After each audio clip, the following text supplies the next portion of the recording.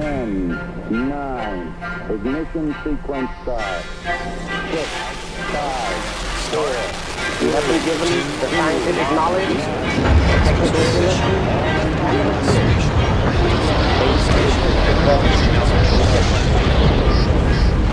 We choose to go to the moon in this decade and do the other things, not because they are easy, but because they are hard.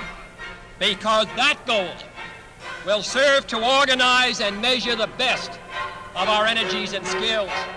Because that challenge is one that we're willing to accept,